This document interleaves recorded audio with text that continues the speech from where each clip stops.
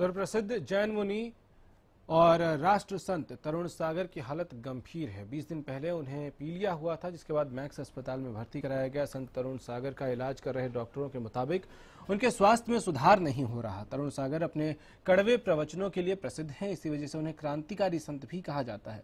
संत तरुण सागर ने समाज के विभिन्न वर्गों को एकजुट करने में काफ़ी प्रयास किया है। आपको बता दें कि संत तरुण सागर हरियाणा विधानसभा में भी प्रवचन दे चुके हैं, जिसके बाद काफ़ी विवाद भी हुआ था।